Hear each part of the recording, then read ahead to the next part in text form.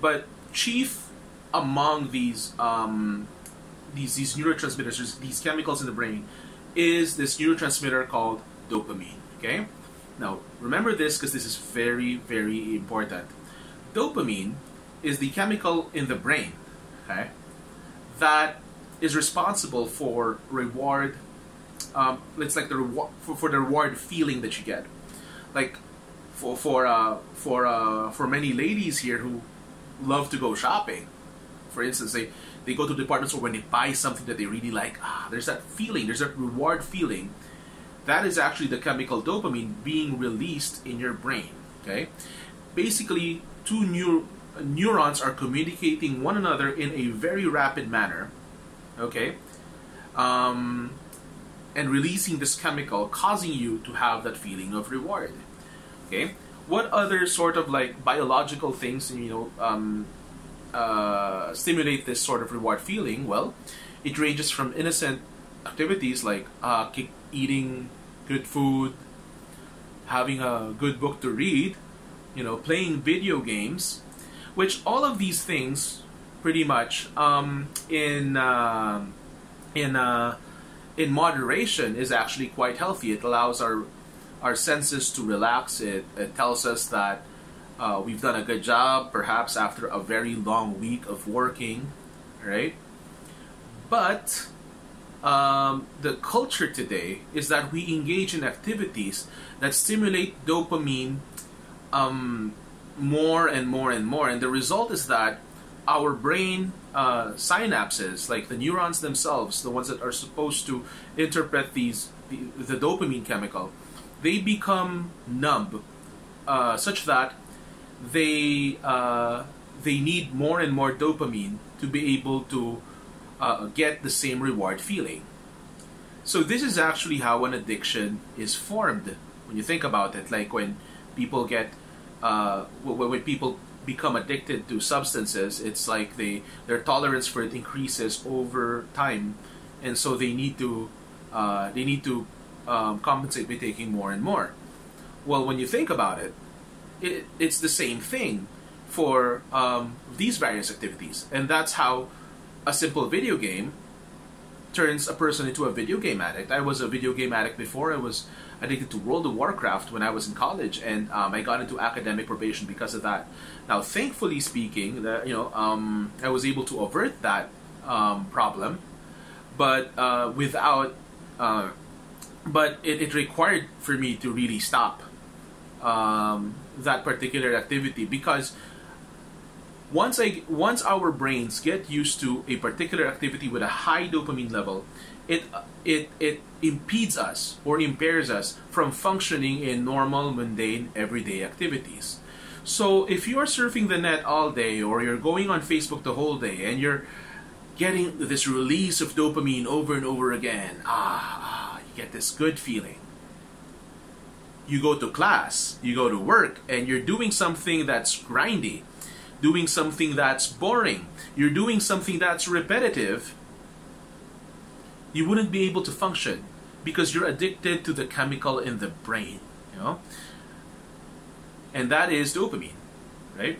So people who, who have ADHD, who have the specific brain pattern here in the frontal lobe, are far more prone to this effect than most individuals. And that's basically the central problem and the basics of the ADHD brain. Okay? How do you address this? We'll get to that in a bit. So that's basically th- those are basically um, some of the the essentials that you need to know about the ADHD. But of course, we could get, go deeper into that. But this is supposed to be 15 minutes, and I think that I'm actually very close there. So uh, yeah, um, this might be not just a two-part video, but a three-part video. But uh, guys, just bear with me. I'll try to finish this as uh, fast as I could, right? So let's now go to the second part that I'd like to show you guys, which is um, a recent study, and it's quite interesting. Um, uh, this was a study in 2018 by a group of students. We're flashing here um, the name of the study, and uh, it was a partnership between a, uh, the Open University in Hong Kong and another university in the United Kingdom. And what they did was they basically got um, adults, uh, 200 plus adults. Not all of them diagnosed with ADHD. This is sort of this is randomized, and they they tested these individuals for several things, uh, but uh, the key thing here, um, the key things here that they tested is the first one is what they call a problematic phone use, mobile phone, uh, mo- mobile problematic phone use, or MPPUs, and then they also assessed these individuals for uh, their executive uh, for ex- their executive skills, for their executive functioning, and then they looked at the numbers, and what they found was that there was really uh, a strong correlation between um, your problematic phone use, you know, like like just, just wasting time on the internet or using your phone, and um, you know, and other addictive behaviors associated with the use of your phone, and that of executive functioning. Yeah, and these are for individuals not diagnosed with ADHD. So what does that tell us?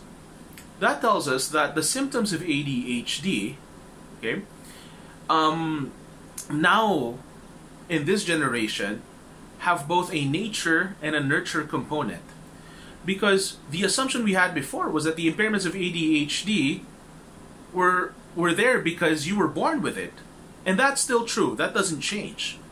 But now the culture that we have in our world was that because of the things we're exposed to, and one of them is like um, problematic phone use, the general population is now manifesting the problems um, associated with ADHD.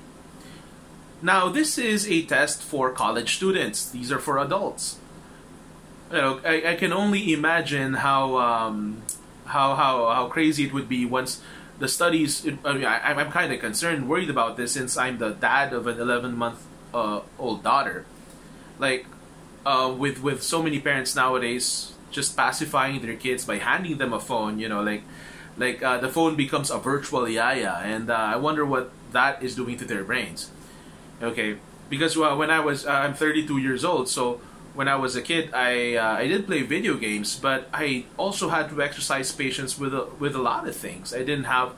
I didn't have it on just a handheld. I, I didn't have my games on just a handheld device for the majority of my life back then. But now, kids are being exposed. So, um, I wanted to share that with you guys because I think that the trend nowadays is that the the symptoms or the impairment associated with the ADHD will increasingly be found in higher percentages in the general population, whether or not they have the wiring or they were born with a tendency to have ADHD.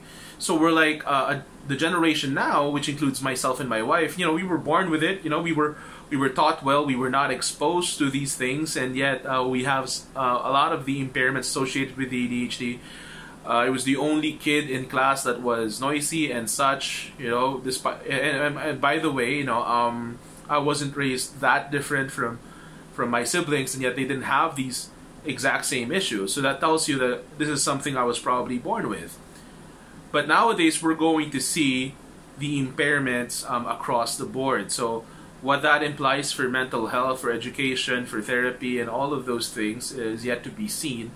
But that is the trend of uh, where this is going at the moment.